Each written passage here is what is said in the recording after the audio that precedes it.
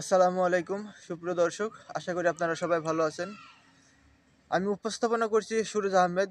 Bangladesh cricket টিমের নির্ভরযোগ্য pace অ্যাটাকের যে মূল কাণ্ডারি, তাসকিন আহমেদ। সে তাসকিন আহমেদ বারো মাসের মধ্যেও আমরা জানি, বারো মাসে বারো মাসে যদি বাংলাদেশ বারোটি ম্যাচ খেলে, তার মধ্যে পাঁচটি ম্যাচে তিনি ইনজুরিতে আক্রান্ত হয়ে দলের বাইরে থাকেন।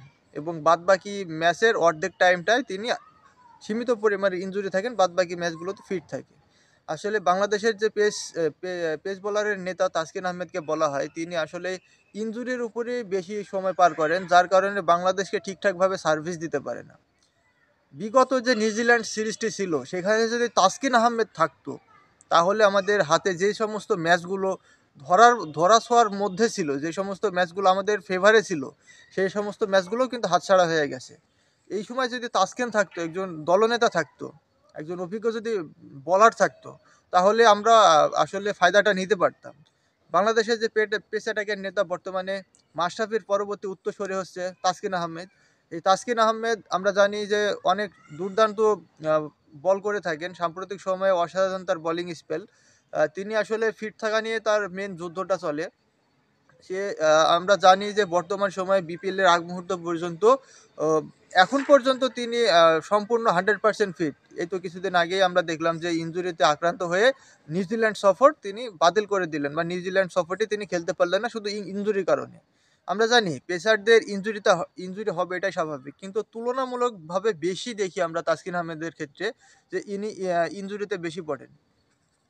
বাংলাদেশের যে ওয়ান ডে টি টোয়েন্টি এবং টেস্ট বলেন, তার মধ্যে বাংলাদেশের বর্তমান সময়ে, সাম্প্রতিক সময়ে সবচেয়ে থেকে নির্ভরযোগ্য এবং সবচাইতে ভরসার জায়গার নাম হচ্ছে একটি তাসকিন আহমেদ। আমরা জানি তাসকিন আহমেদ যখন বল করে, তখন ওপেনের যে ব্যাটসম্যান করেন, তাও তার মধ্যেও কিন্তু একজন, এক ধরনের ভয়ভীতি কাজ করেন। কারণ তিনিও জানেন বাংলাদেশের পেস অ্যাটাকের সব থেকে সেরা কাণ্ডারি এই তাসকিন আহমেদ। তাসকিন আহমেদের বল মোকাবেলা করা কিন্তু আসলেই অনেক কঠিন ফেস করাটা।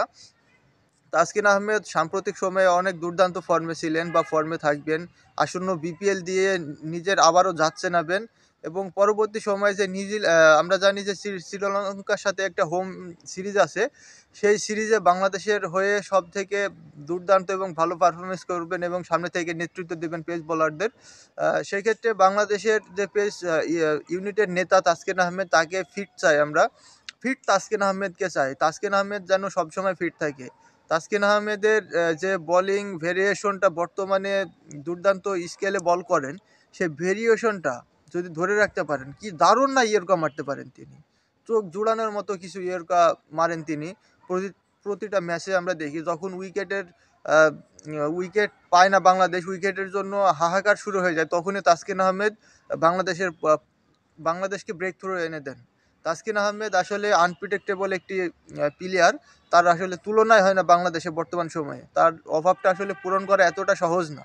বর্তমানে যে শরীফুল ইসলাম দুর্দান্ত বল করছেন তারপরেও তাসকিনের আক্ষেপটা যেন তিনি মেটাতে পারছেন না।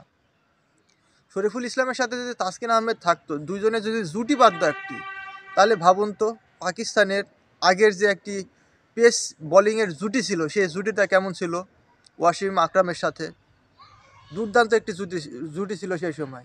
বর্তমান সময়ে তাসকিন আহমেদ এবং শরীফুল ইসলাম যেন পূর্বে সেই জুটিকে আবারও তুলে ধরেছেন।